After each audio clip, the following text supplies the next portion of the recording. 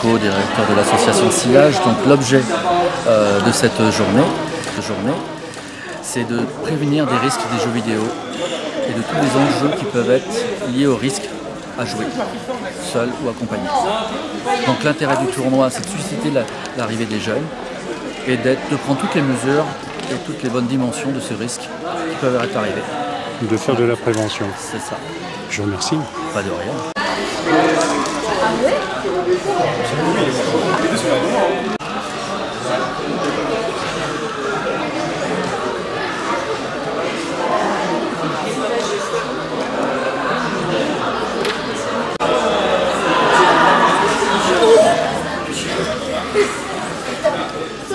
Oh non Non les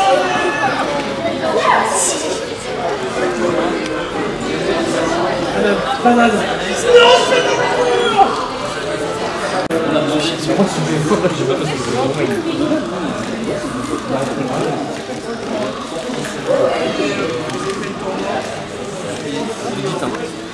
Bonjour, je suis André, je suis président de l'association e-sport Soul of Gamer. On est basé en Seine-et-Marne. Et euh, l'objectif de l'association, c'est un peu de sensibiliser euh, les jeunes aux jeux vidéo. Les jeunes, mais je, je, parle aussi des jeunes adultes, mais aussi des parents, et surtout les parents. Les aider à, comprendre euh, certaines choses par rapport aux jeux vidéo, leur, leur donner quelques clés, quelques astuces pour discuter avec leurs enfants et prendre du plaisir avec eux. C'est surtout, pour moi, les parents, ils doivent aussi donner un maximum de temps avec leurs enfants. Partager ces moments devant l'écran et vraiment prendre du temps pour eux et jouer avec eux et prendre du plaisir. Voilà. Merci. Et aussi l'objectif par rapport à comment s'appelle aux jeux vidéo, à la pratique des jeux vidéo, c'est l'association elle demande aux jeunes de sortir de chez eux, de ne pas rester tout seul devant l'ordinateur et jouer euh, contre une personne virtuelle, non. C'est de sortir de, de, la maison, de venir jouer les uns contre les autres ou les uns avec les autres, donc en coopération l'un à côté de l'autre, comme vous voyez ici, quoi. Tout simplement. Ils sont là, ils prennent du plaisir. Et donc là, on a trois joueurs de l'association qui, euh, qui pratiquent régulièrement euh, tous les vendredis dans l'association Soul of Gamer.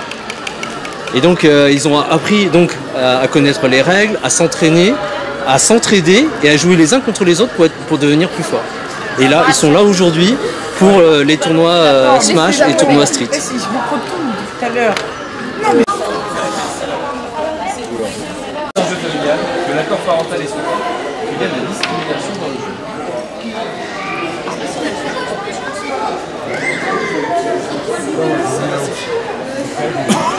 jeu. C'est la peur. Oui, c'est la peur. Voilà la sueur. Ah, qui a perdu un point. Il est tellement fort.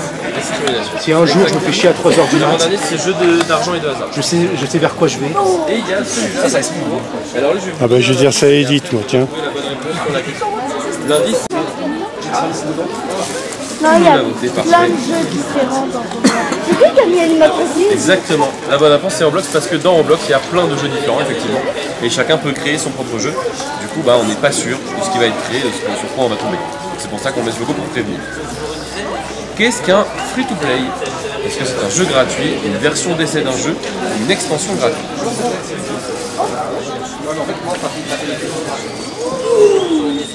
Ouais, quand il y a un cross ça...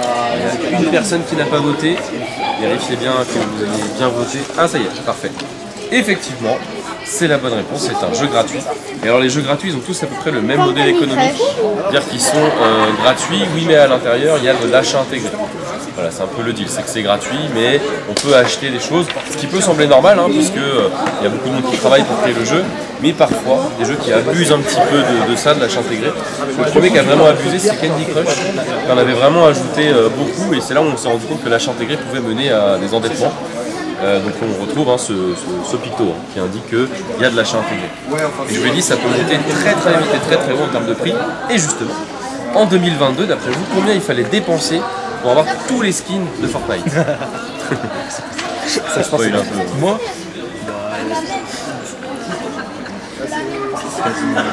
Je crois que c'est un youtubeur qui en 2022 avait fait l'essai, euh, l'expérience d'essayer d'avoir toutes les tenues et voilà le prix que ça lui a coûté.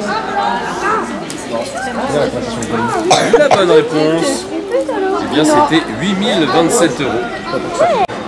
De quoi Ça Ouais, on a 300 télécommandes. euh, On fait là, on le fait version forum, mais on le fait aussi en classe. Tu peux jouer avec eux, hein, tu peux faire avec eux, ils ont les petites zapettes là. Sur différents sujets, en fait, on crée nos quiz nous-mêmes.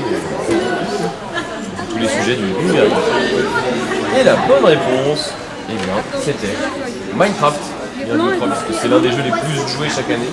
Donc c'est là où il y a plus d'arnaques et les chiffres sont criants. hein. Sur, le- sur les arnaques euh, décelées, 55% étaient sur Minecraft. Donc C'est Wow. vraiment, euh, vraiment largement plus que les autres. Les principales arnaques qu'on peut trouver.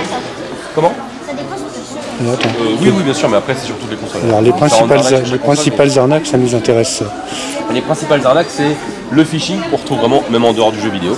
C'est les faux messages ou les faux mails que vous allez recevoir qui vont en général vous demander un mot de passe ou euh, des coordonnées bancaires. Les faux sites, c'est les sites qui euh, vont vendre du contenu d'achat intégré, on y revient, mais pas cher. Euh, sauf que derrière, ils vont garder les coordonnées bancaires, puis la plupart du temps, on ne reçoit même pas notre commande. Euh, et le compte piraté, c'est le plus répandu, c'est quand un joueur va demander le mot de passe à un autre joueur. En général, ils visent les enfants sur ces arnaques-là.